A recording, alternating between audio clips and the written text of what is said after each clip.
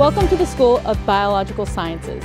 The new building opened in 2019 and offers state-of-the-art teaching and research facilities. The school provides the facilities to help grow our life sciences sectors, especially in areas such as agriculture, food science, infection and disease biology, waste management, and the environment.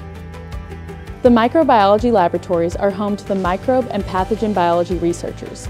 Here they study the fundamental biological processes in cells, microbes, and parasites, as well as the applied processes of environmental microbiology, parasitology, and disease control. The school is also home to IGFS, the Institute for Global Food Security, a superb teaching and research environment for 750 students and 170 staff. Across areas such as agriculture, food safety, food science, food security, disease infection biology, diagnostics, waste management, the ecosystems, and the environment. It also contains the Asset Technology Center, a leading analytical chemistry and mass spectrometry research hub recently recognized as a center of expertise by the Food Authenticity Network.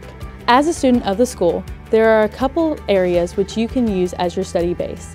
This postgraduate office is one of a number of multi-occupancy write-up spaces for postgraduate students.